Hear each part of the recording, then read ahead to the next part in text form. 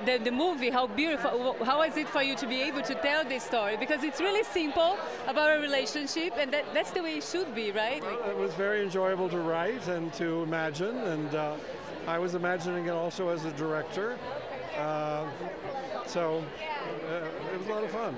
It, it, it still, it still is.